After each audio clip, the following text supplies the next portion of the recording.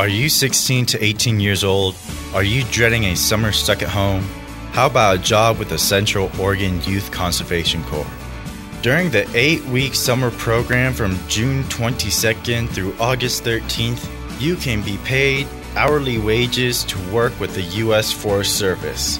You work outside Monday through Thursday with a crew in our beautiful forests and grasslands. My name is Juan, and last year I got the chance to earn over $2,500, learn job skills, build my resume, and make new friends. The Heart of Oregon is a local nonprofit and is hiring youth now in Bend, Redmond, La Pine, Crescent, Sisters, Prineville, Madras, and Warm Springs. Apply online at heartoforegon.org by May 1st. That's heartoforegon.org. See you in the forest.